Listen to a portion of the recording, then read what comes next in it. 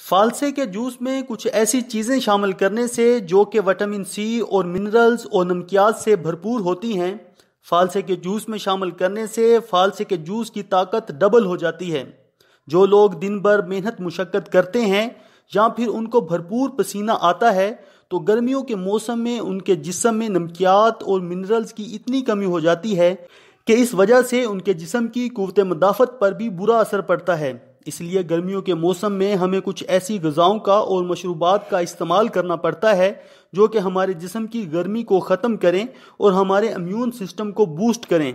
इसलिए हम फालसे के शरबत में ऐसी कुदरती चीज़ों का इस्तेमाल करेंगे, जो कि हमारे मैदे की गर्मी को भी ख़त्म करेंगी और हमारे हाजमे को बेहतर करके हमारे इम्यून सिस्टम को भी मज़बूत करेंगी। ऐसी हैरान कन अफादियत वाला मशरूब तैयार करने के लिए एक जग पानी में दो कप फालसा और हाफ़ टी स्पून काला नमक और चार चम्मच चीनी और दो चम्मच लीमू का रस शामिल करके इन सब चीज़ों को अच्छी तरह ब्लेंड कर लें।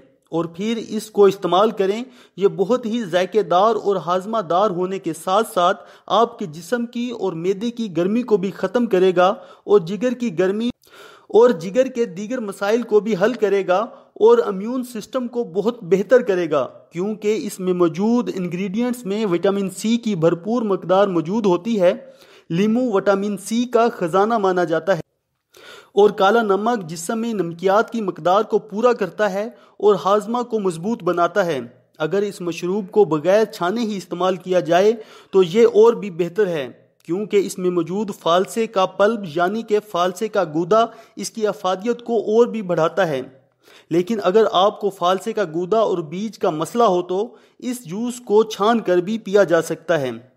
यह जूस आपकी रंगत को भी साफ़ करेगा, क्योंकि इसमें मौजूद विटामिन सी की भरपूर मकदार स्किन को साफ़ करने में बहुत अहम करदार अदा करती है। इसके इस्तेमाल से जिसम में पानी की कमी पूरी होती है तो जब जिसम में पानी की मकदार पूरी होगी तो स्किन भी तरोताज़ा रहेगी।